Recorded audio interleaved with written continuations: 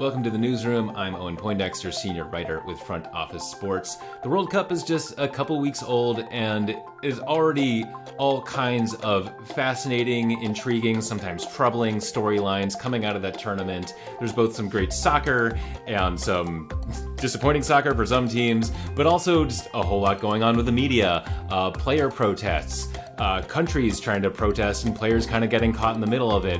So, so many interesting narratives to tug on here. We're going to be doing that with our writer Doug Greenberg in just a moment. 2000, 2008, 2022. When it comes to the economy, those are some scary years. Dot com crash, housing crash, and the roller coaster we're going through right now. One thing is certain, it's a dangerous time to not know your numbers. But over 31,000 businesses have the confidence and clarity they need because they rely on NetSuite by Oracle, the number one cloud financial system. NetSuite gives you visibility and control of your financials, inventory, HR, planning, and budgeting so you can manage risk, get reliable forecasts, and improve margins. Everything you need all in one place. So, how do you prepare for uncertain times? The answer is NetSuite. NetSuite helps you identify rising costs, automate your business processes, and easily see where to save money. That's why 93% of customers say they improve their visibility and control when they upgraded to NetSuite. What are you waiting for? Right now, NetSuite is offering a one-of-a-kind flexible financing program. Head to netsuite.com slash the newsroom right now. netsuite.com slash the newsroom. netsuite.com slash the newsroom. All right, excited to get into this. Joined today by our writer, Doug Greenberg. How's it going, Doug? Doing pretty good, Owen. Uh, I'm just home in the uh, Boston area visiting my family for the Thanksgiving weekend. Uh, so that's why my setting's a little bit. I'm sitting in my sister's room right now, so a little bit, a little bit different setting, but good. How, how about you doing, man? I'm good. Yeah, we're recording this on Monday, so still in the wake of the whole Thanksgiving rigmarole. Had the great pleasure of not traveling for Thanksgiving and not facing, you know, massive crowds everywhere you look. Um, biggest difference would you say, or like when you're in Boston, do you have like moments where you're like, I am not in Chicago because you're from live in Chicago from Boston. Is there some like key difference where you're like, oh, I'm home? namely, I mean, I'm just living in, uh, you know, I'm at my parents' house in the suburbs, which is, you know, way nicer than my apartment in Chicago. So yeah, right. and I get my and I get my parents feeding me for you know four days or whatever. It's not mm-hmm. it's not mm-hmm. the worst thing in the world, but. Uh, yeah, yeah, easy to get used to. Well, it can be a little bit of adjustment to come home, be like, oh yeah, dinner's yeah, not going to just show up in front of me, is it? Um, yeah. cool. So we're talking World Cup today, but before we do that, uh, I just wanted to like check in on like your sports world more broadly. What's what's just like popped on your radar the last couple weeks outside of the massive global tournament happening in Qatar? Oh man. Um, well, as a Boston fan, uh, the NHL and NBA seasons are going really well for me. Yeah, seriously. Um, yeah, I, I don't really, especially the Bruins. I have no idea where that came from. Like they just are suddenly so good.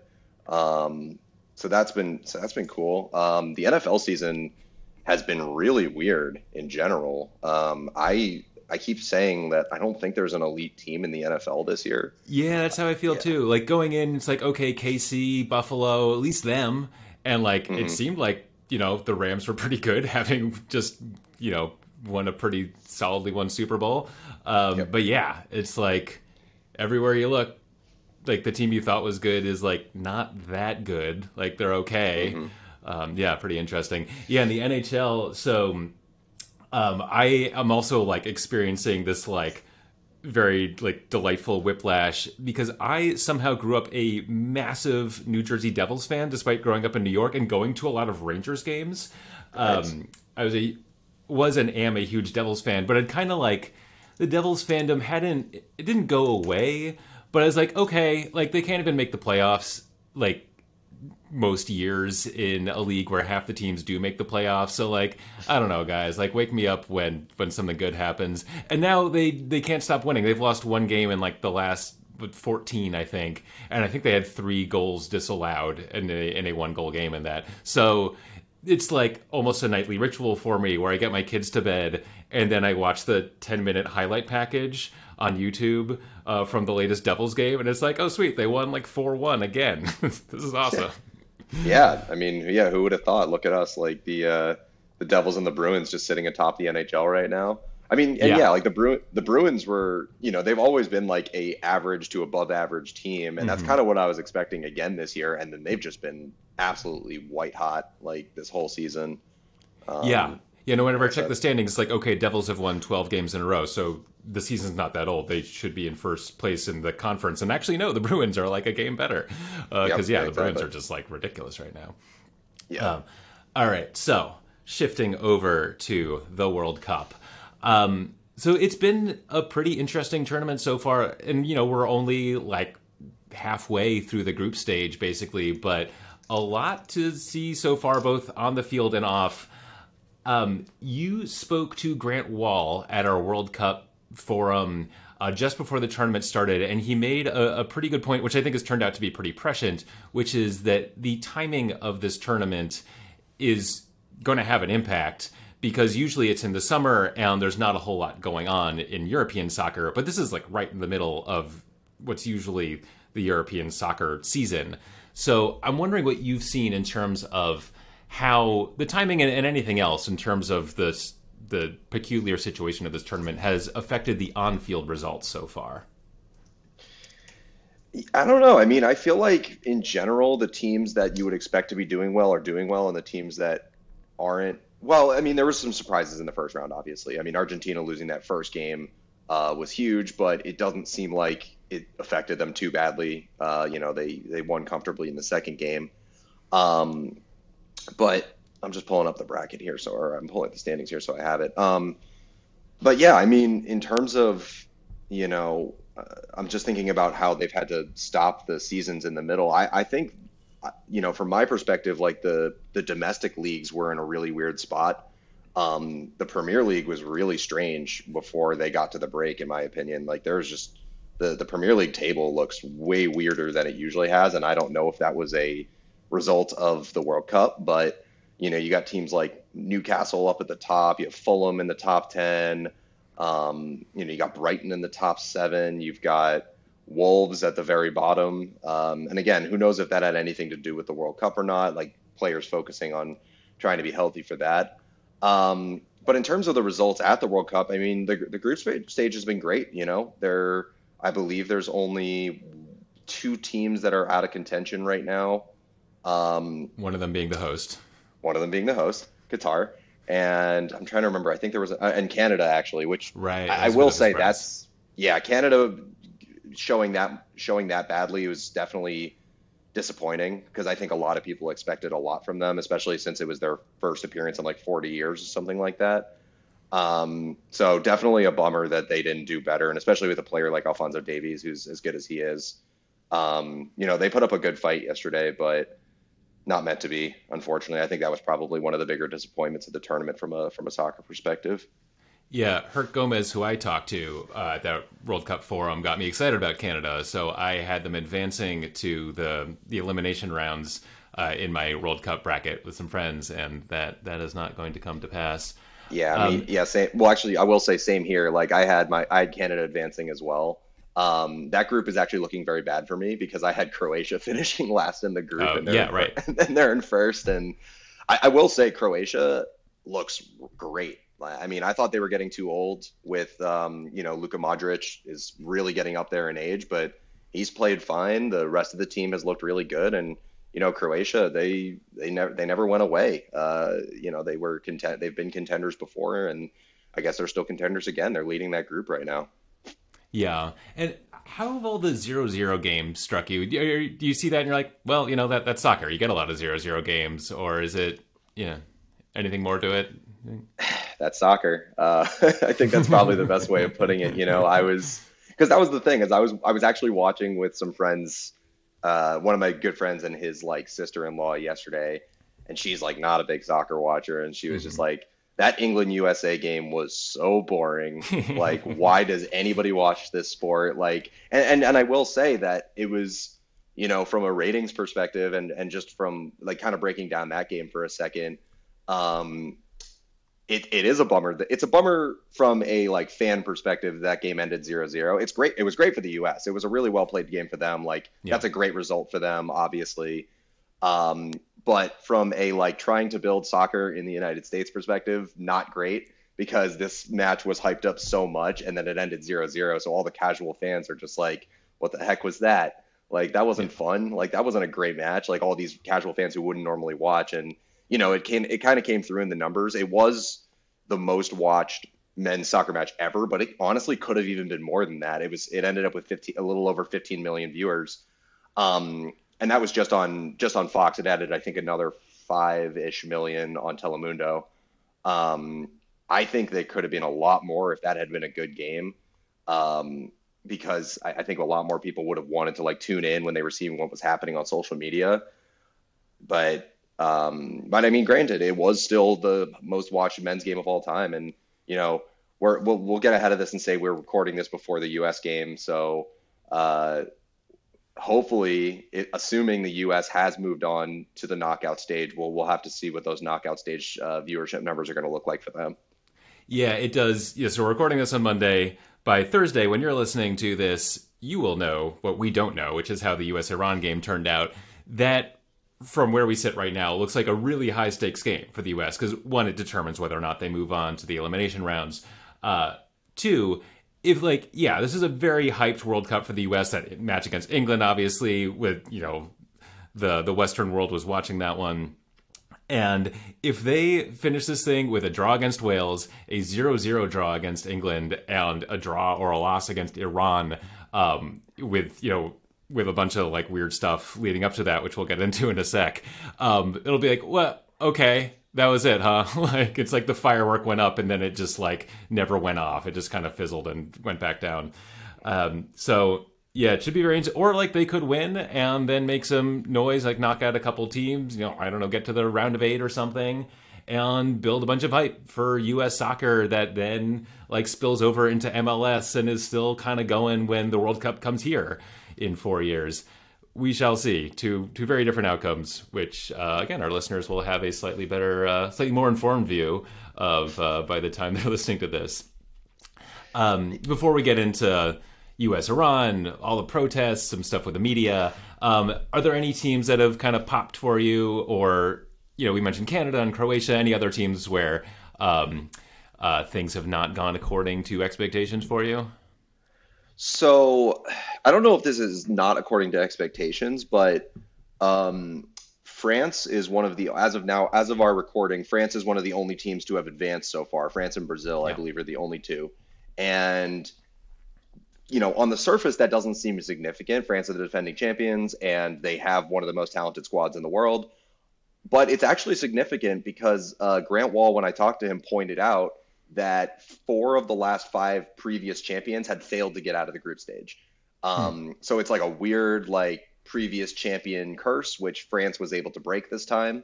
Um, you know, good for them. I mean, they have they have some of the best players in the world. It makes sense that they should do that.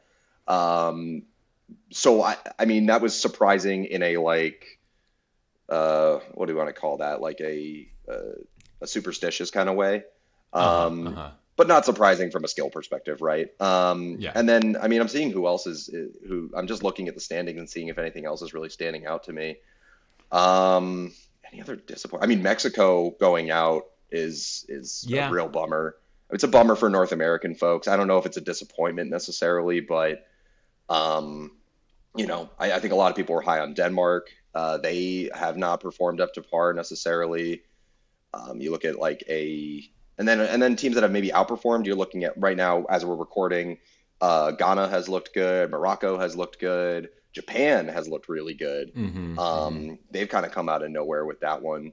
Um, and and as of now, Iran's sitting, you know, in second place. They, you know, have looked, you know, getting that that win against Wales was huge for them.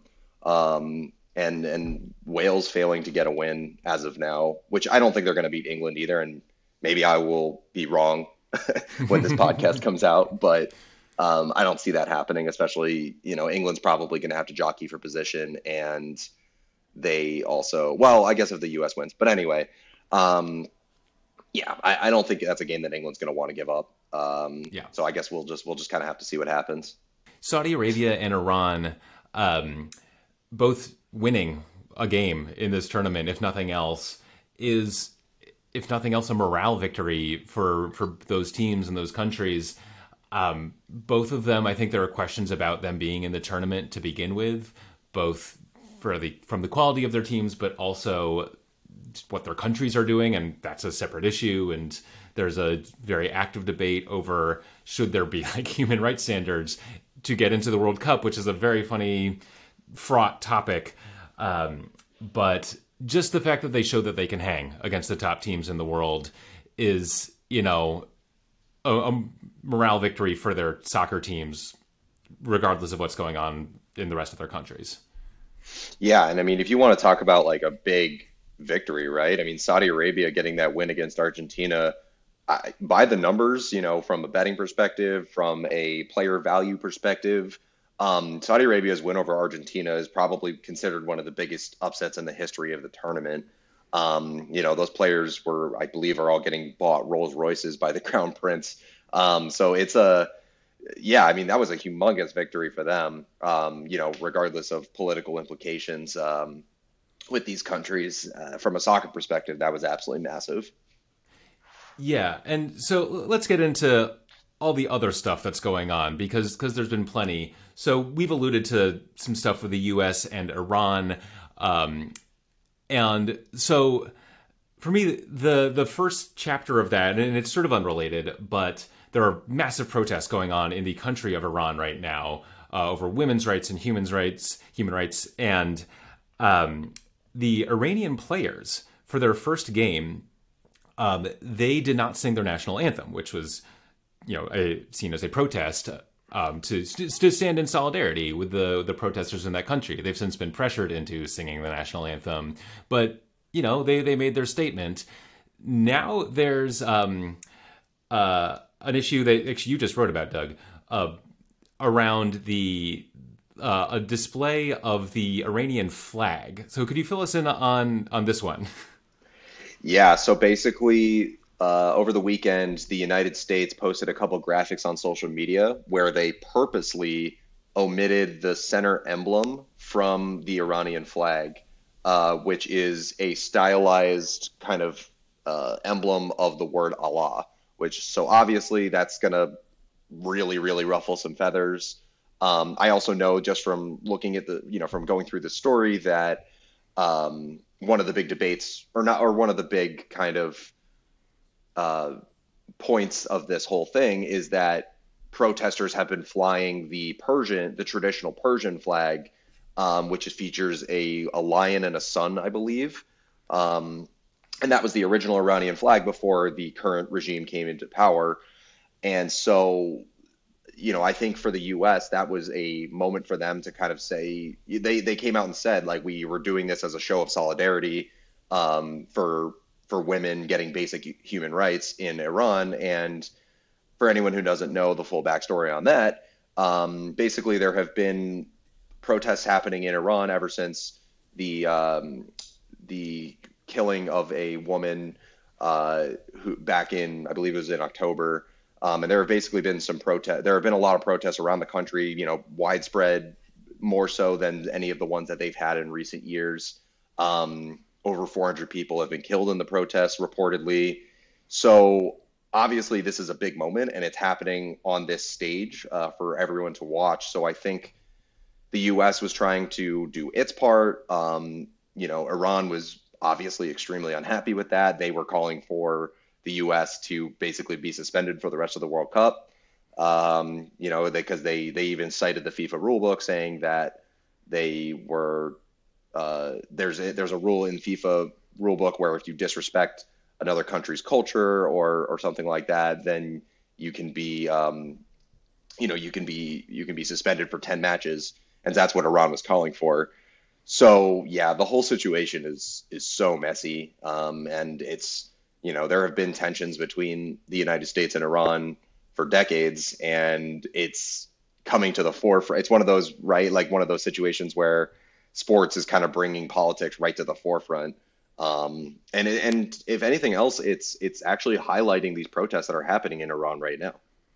Yeah, I mean, it's such an interesting moment we're in right now. We're like the World Cup, the idealized version, one that Gianni Infantino, the uh, head of FIFA, has really promoted recently, is that the World Cup is this coming together of nations. You know, like we may have our differences in the rest of the world, but this is a moment, you know, kind of like the Olympics, where we can all come together, united by sport, to to do this, and maybe it makes us feel a little bit warmer toward each other.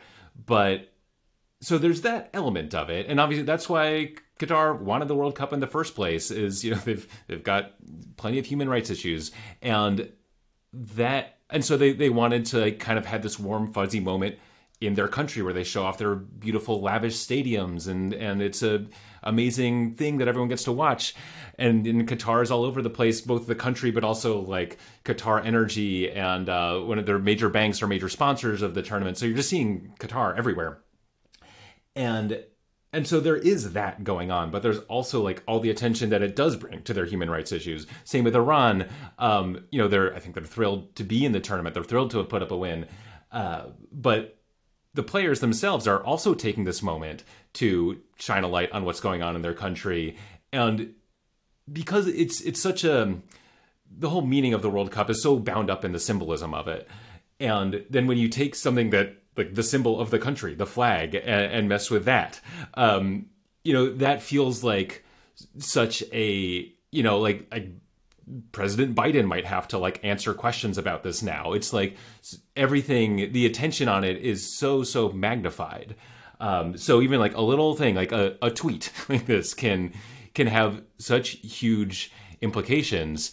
Um, and, and so, yeah, it's, it's just, it's, it's really interesting. And, and you know, the players are kind of, they're both caught in the middle of this where like, they're there to play soccer. They're, they're there to like try to win the, you know, possibly the biggest prize in, in global sports, but it is the biggest prize in global sports because it's there's so much attention and excitement around this this one tournament. So it's kind of unavoidable in some way.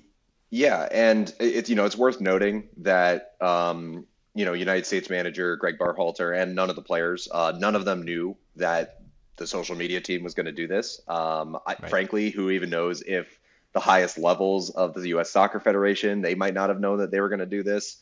Um, so who really like knows? It really could have been one of those like one rogue intern kind of things. Yeah, like it, it, like how many people would spot a difference in the Iranian flag in the like U.S. soccer team social team?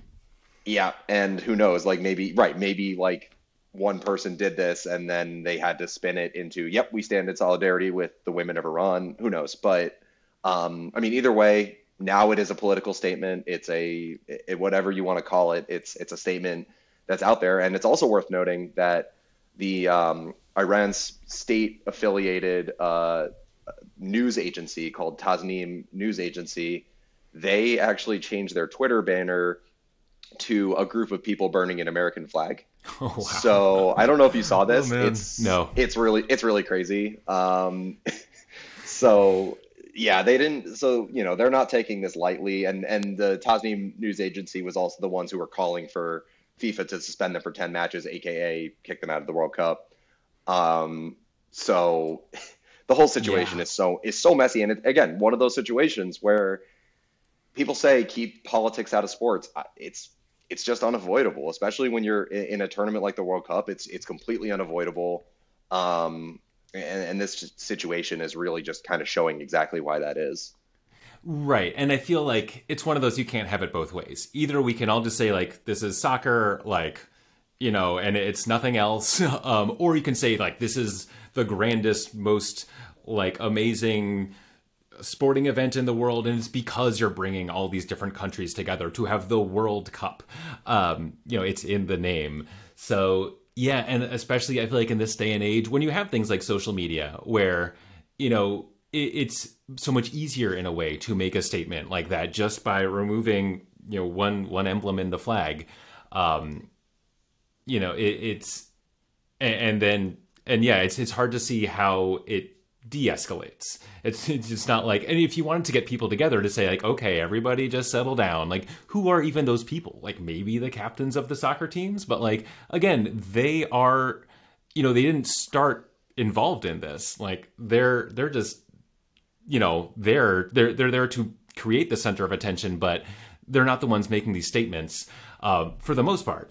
Um, of course you know the Iranian players did make that statement um, to hop over to another um, another moment, um, a sort of political moment from players in this tournament.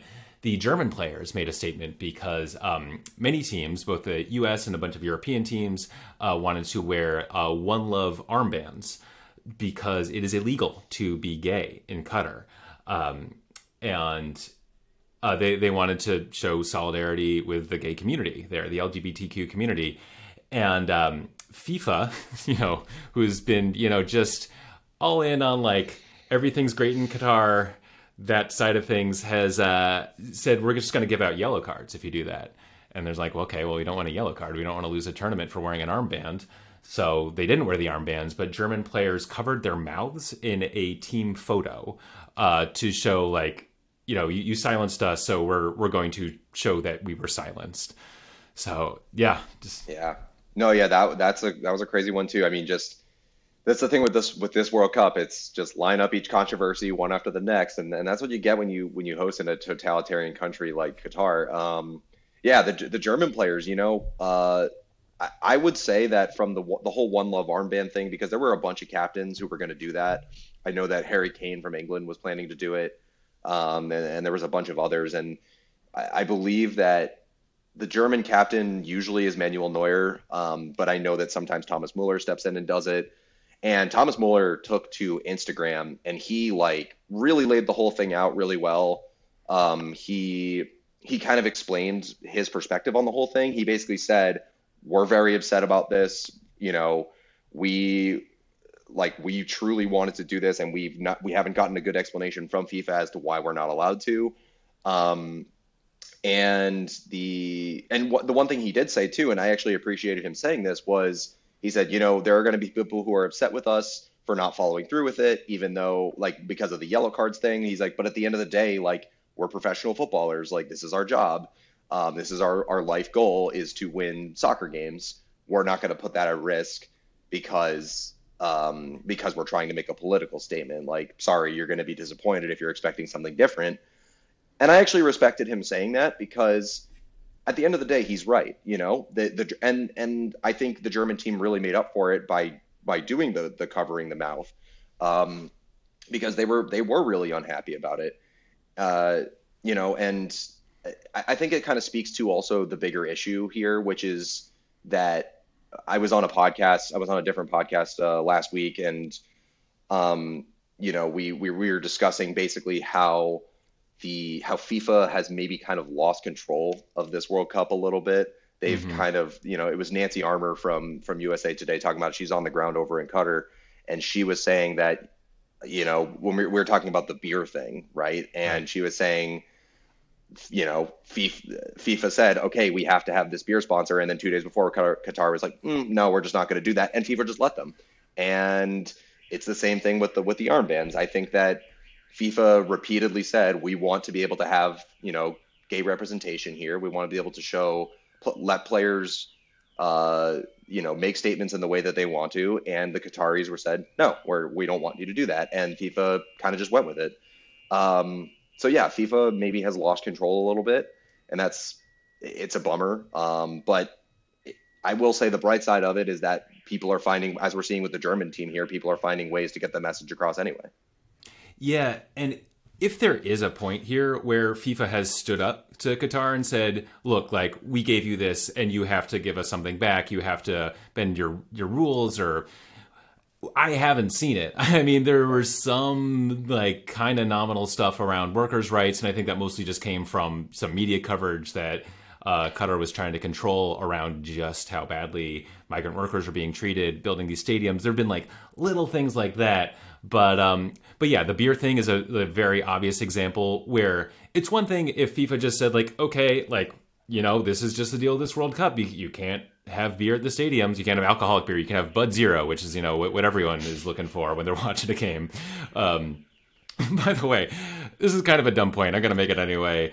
To like go to the biggest sports tournament in the world and the only thing you can drink is Budweiser, like that in itself is like, come on, FIFA, like, you know, give me something to work with here. But yeah, then yeah. like to add insult to injury, it's just Bud Zero um, in the actual games. So yeah, there there's that. There's um and um then um Gianni Infantino, head of FIFA, you know, after in his response to all this, um, was he, he made this big speech saying like, hey, no one, no European country, I forget exactly how you put it. Basically, like, European countries, you have no right to to criticize Qatar on human rights for the like thousands of migrant death, migrant worker deaths. Um, resulting from building these stadiums because hey look at your history look at look at all the slavery and cruelty and of course yeah you you look into the you know history of of England of France any of these countries yes it's it's totally checkered with like horrible human rights violations but then just say like so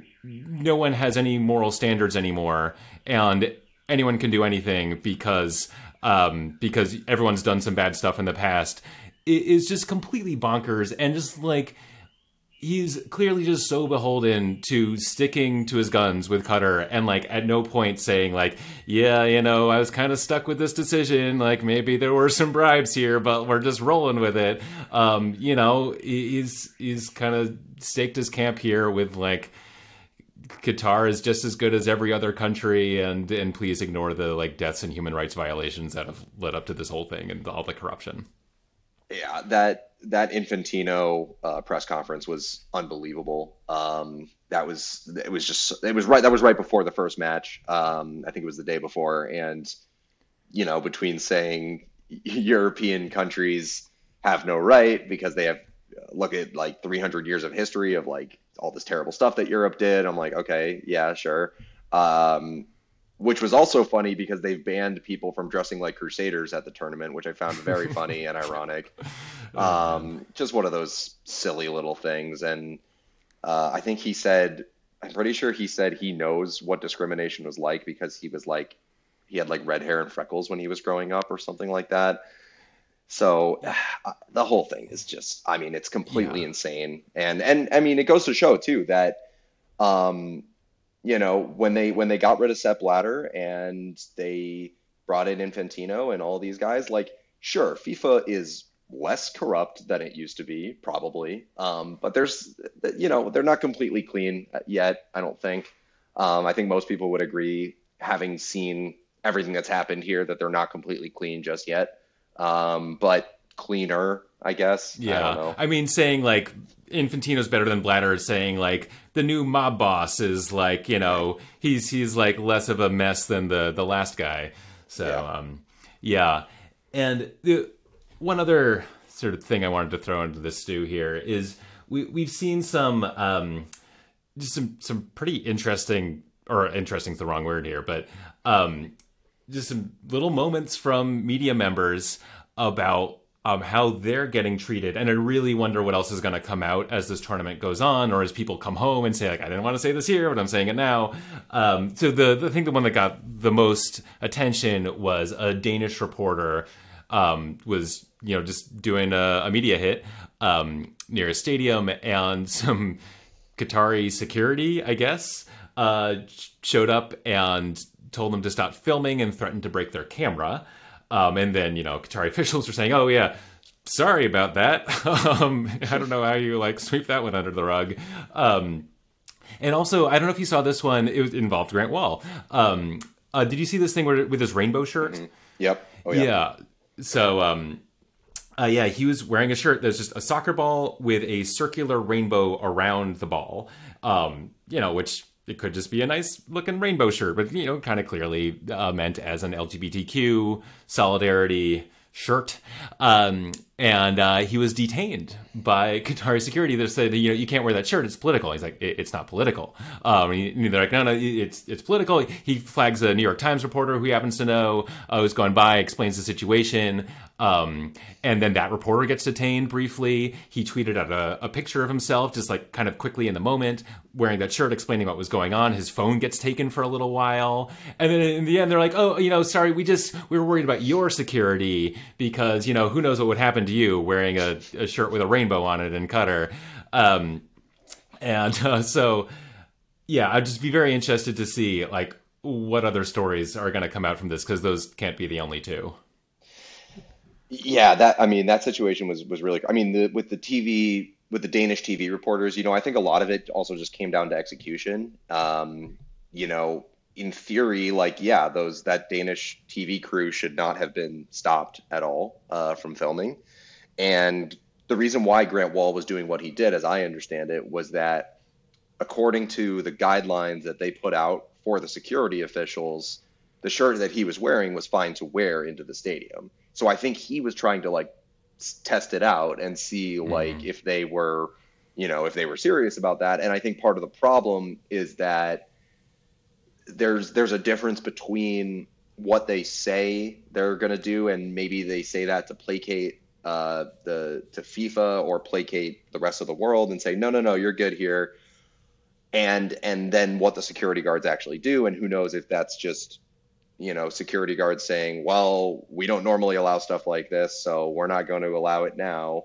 um, or they're just not comfortable with it, or you know, maybe the security guidelines were just for show all along, and the officials wanted them to take, you know, rainbow rainbow apparel away, that kind of thing.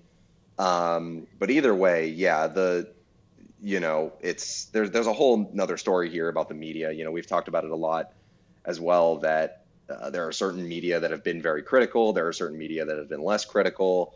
Uh, maybe don't need to name names here, but um, you know, there rhymes with box. Yeah, yeah, rhymes with box.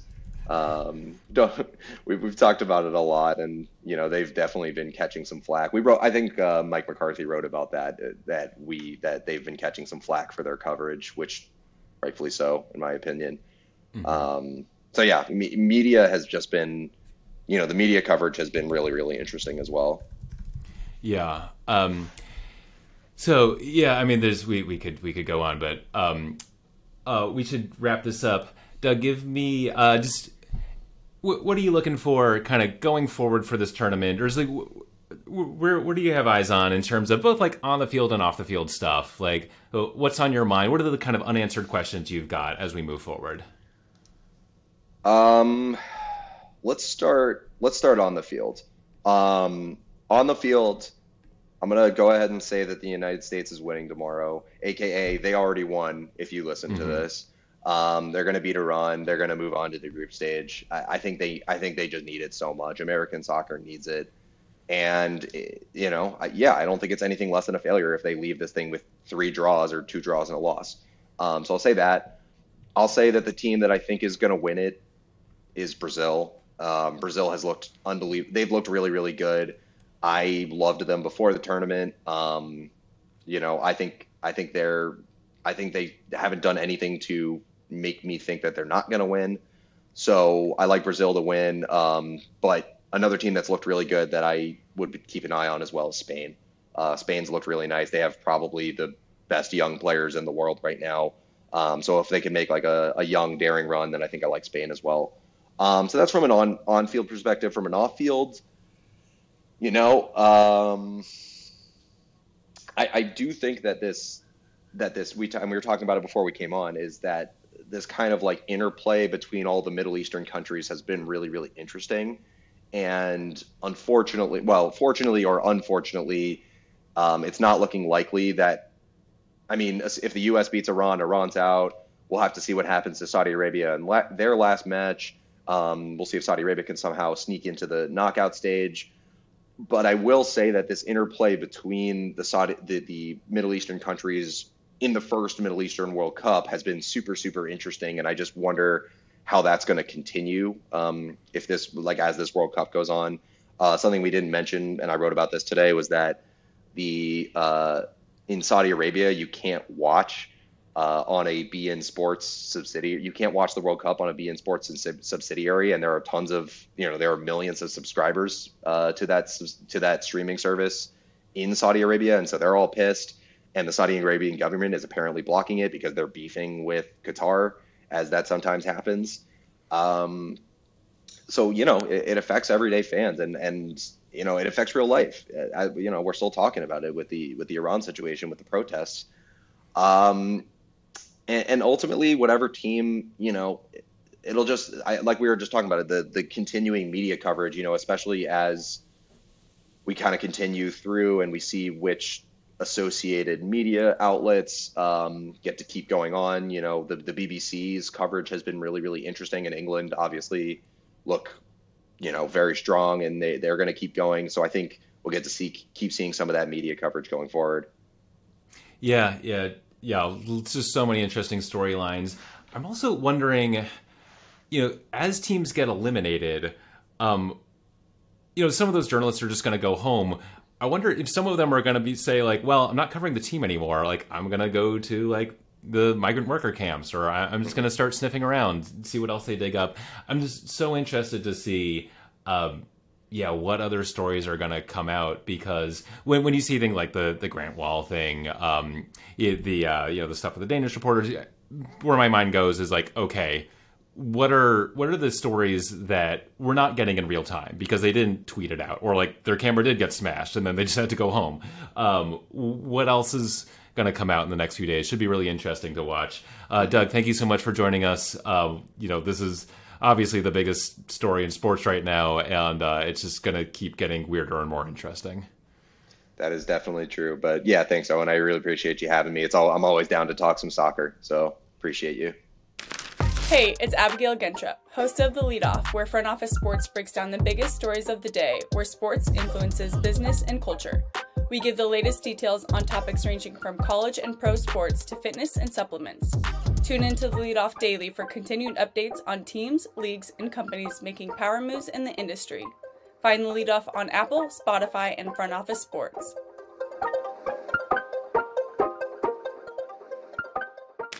Thank you so much for listening to the newsroom. Please rate us and review us on the podcast service of your choice. Makes a big difference to us and just takes a few seconds on your end. And we'd love to know what you're thinking about the show, what you'd like to see more of, maybe some guests you'd like to hear on.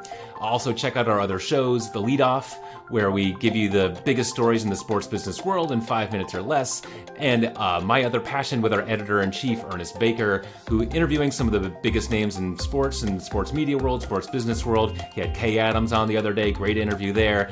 Learned some stuff about, you know, what, what you already know about Kate Adams and probably a whole lot that you don't know about her. Uh, anyway, check those two shows out, and we'll see you next week.